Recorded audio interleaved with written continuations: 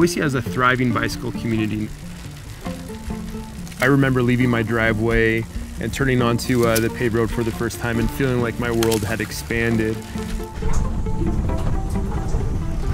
All of a sudden, like the world seemed to slow down a little bit.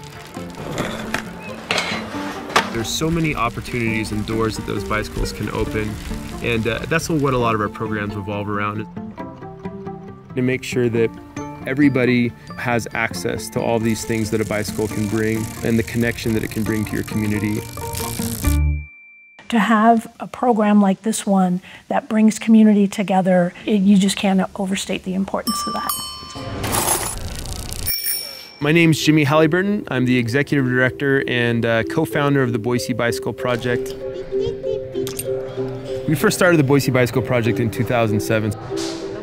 And so, really early on, we wanted to make sure that everybody, regardless of income, had access to bicycles, bicycle repair, and bicycle education. Does everyone have a helmet on? We're constantly trying to figure out who doesn't have a bicycle that needs one. Who else can benefit from these?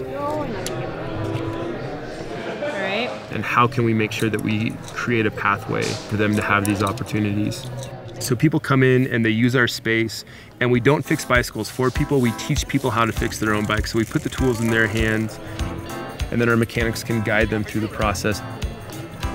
So whether that's you know homeless folks or, or refugees who are new to our community or people who are getting out of prison who maybe have the cards stacked against them anyway, we know that all these people have these places that they need to go where there's opportunities just waiting for them. Like all they have to do is open the door, but they got to get there first.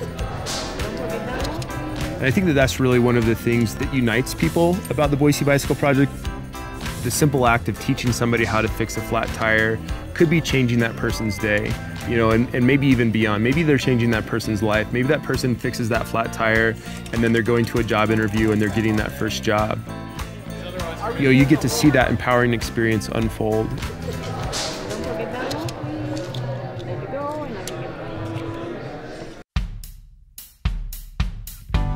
You know, I think everybody who's been involved with the Boise Bicycle Project came in for a variety of different reasons. It is a place where we're building community. You know, we're making our community a better place to live on a daily basis, and people feel that.